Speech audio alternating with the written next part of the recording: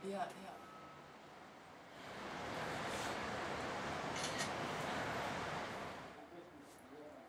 Mijn vader dacht in eerste instantie aan eh, zogenaamd notabele politici. En toen zei de architect, nee, die zijn zo weer vergeten. Dat vind ik ook een grappig aspect, want de figuren die er uiteindelijk opgekomen zijn, die zijn nog steeds populair. Dus ze hebben dat in, in overleg gedaan, alleen eh, buiten de gemeente om en buiten het kerkbestuur om.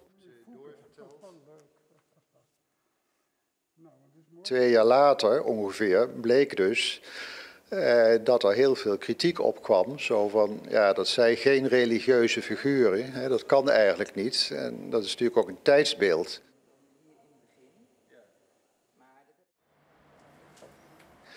En mijn vader hoorde daar ook van. En toen heeft hij vervolgens, eh, heeft hij de, toen hij met die dwergen bezig was, heeft hij voor de grap de kop van die dominee als een van de dwergen uitgebeeld.